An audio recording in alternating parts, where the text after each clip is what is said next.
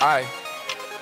Man, I'm pulling out the motherfucking Ritz the other day, man. I pull up on my partner Bino. Know what I'm saying? Real boss nigga.